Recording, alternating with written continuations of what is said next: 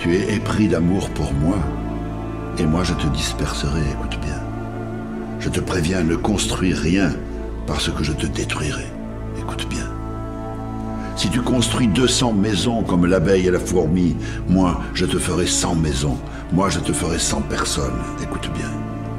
Que tout homme et que toute femme soient ivres de toi, tu t'occupes. Et moi, je m'occupe que toi, tu sois dans ivresse et stupeur. Écoute bien. Serais-tu la montagne, Raph?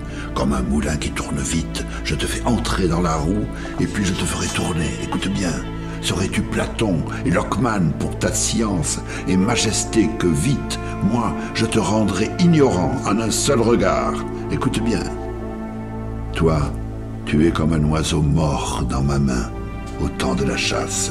Moi, le chasseur, je te ferai pour les autres oiseaux un leurre. Écoute bien. Tu es sur un trésor, gardien, tout comme un serpent endormi.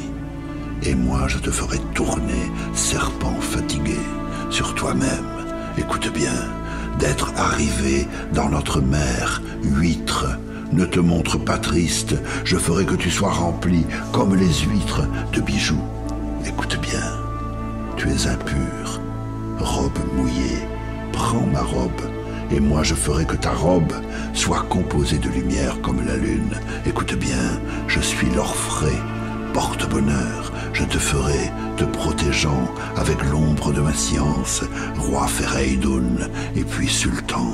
Écoute bien, Abrège ici cette lecture, reste silencieux, prends patience, pour que ce soit toi que je lise, faisant de toi le Coran même.